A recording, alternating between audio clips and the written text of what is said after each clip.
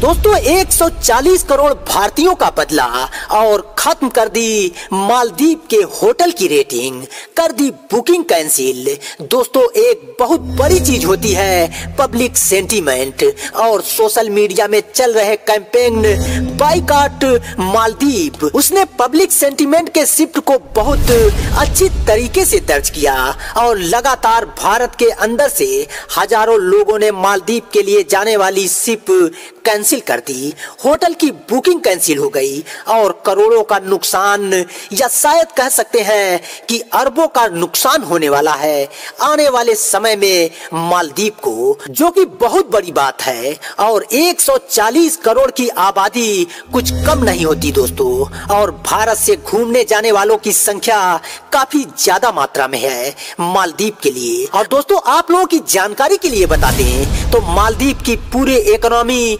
25 percent उसकी जो GDP है, वो डायरेक्टली टूरिज़्म से आती है। और जो 75 परसेंट बच जाती है जीडीपी वो इनडायरेक्टली सेकेंड सोर्स से टूरिज़्म के माध्यम से ही आती है। और आप लोगों की जानकारी के लिए बता दें तो टूरिज़्म में होने वाले जो इनडायरेक्ट जॉब क्रिएट होते हैं, वहाँ से होती है। और दोस्तों, सबसे बड़ी बात कि एम्प्लॉयमेंट में भी बहुत ज़बरदस्त झटका लग सकता है मालदीव के अंदर, क्योंकि काफ़ी सारे जॉब्स जो कि टूरिज़्म की इंडस्ट्री से निकलते हैं। और दोस्तों, आप लोगों की जानकारी के लिए बता दें तो अगर टूरिज़्म इंडस्ट्री प्रभावित होती है मालदीव में, और अगर भारतीय लगातार बाइकाट करते रहते हैं तो ये मान के चलिए दोस्तों कि मालदीव में अनएम्प्लॉयमेंट की प्रॉब्लम क्रिएट हो जाएगी। और दोस्तों, आप लोगों को बता दें तो मालदीप दुनिया की सबसे luxury destination luxury tourist destination में गिनी जाती है। और जहाँ पर छोटी छोटी फैसिलिटी के लिए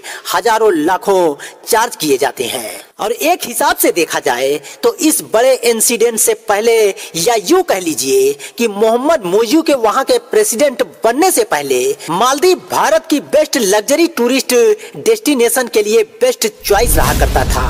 और भारत के लगभग सभी सेलिब्रिटी छुट्टियाँ मनाने के लिए बाकायदा वहाँ पर बुकिंग किया करते थे और लाखों स्पेंड किया करते थे। लेकिन अब जिस तरीके से सलमान खान से लेकर अक्षय कुमार तक और सचिन तेंदुलकर से लेकर और अलग अलग सेलिब्रिटी ने बार बार लक्षद्वीप की बात कही। इससे साफ़ ज़ाहिर होता है कि भारत सरकार ने कुछ इंटीमेशन दिया है। इन सभी सेलिब्रिटी को इन तक अप्रोच बढ़ाई है और उसकी वजह से लोगों ने सीधे सीधे मालदीप को रिप्लेस करने के लिए लक्षद्वीप को हाईलाइट करना शुरू कर दिया। दोस्तों, कुल मिलाकर देखा जाए तो मालदीप को बहुत बड़ा नुकसान होने वाला है और जिसकी भरपाई शायद मालदीव कभी ना कर पाए। और उसे ये चीज़ अच्छी तरीके से समझ आ गई होगी कि भारत के मार्केट से पैसा निकालना है तो भारतीयों का सम्मान करना पड़ेगा। और जिस प्रकार के खराब रेसिस कमेंट जारी किए गए थे, कुछ पॉलिटिशियंस के द्वारा, और मालदीव पर उसका असर अब दिखने लगा है। पहले तो तीन सीटिंग डिप्यूटी मिनिस्टर जो थे मालदीव की सरकार के द्वारा उनका रेजिग्नेशन ले लिया गया। और उसके बाद जो बड़े बड़े लीडर एक्स लीडर जो रह चुके हैं, यानी कि पूर्व में जो राजनीति में रह चुके हैं, उन्होंने एक के बाद एक अपने बयान जारी करने शुरू कर दिए और भारत की तरफ़ से आ रही प्रतिक्रिया को सर आँखों पर बैठाया।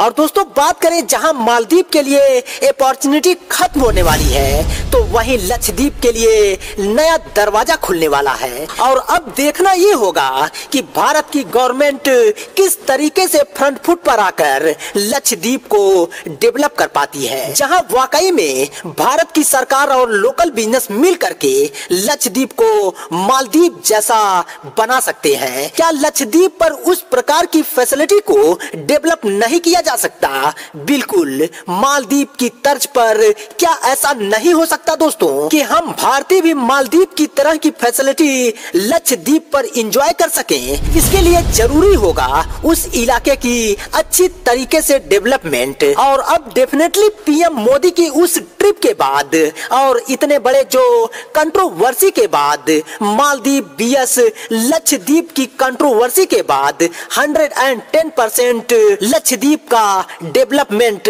हो सकता है। और दोस्तों, अब ज़रूरत है तो लक्षद्वीप को बेहतर इन्वेस्टमेंट देकर के एक नया रूप रंग देने की, उसे बिल्कुल एक फाइव स्टार आइसलैंड चीप बना देने की, जिससे फॉरेन टूरिस्ट भी अट्रैक्ट हो और डेफिनेटली एक बहुत अच्छा सोर्स ऑफ़ इनकम बन जाएगा।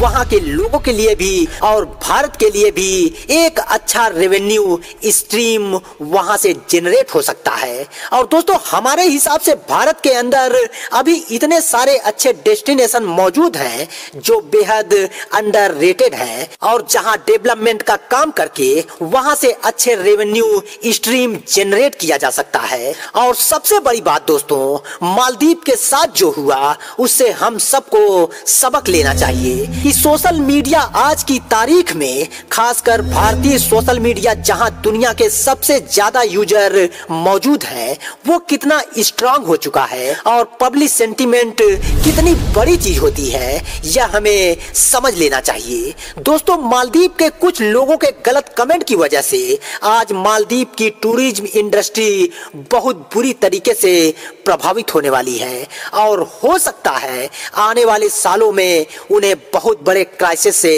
गुजरना पड़े और बढ़ती सोशल मीडिया की ताकत पर आपकी क्या राय है?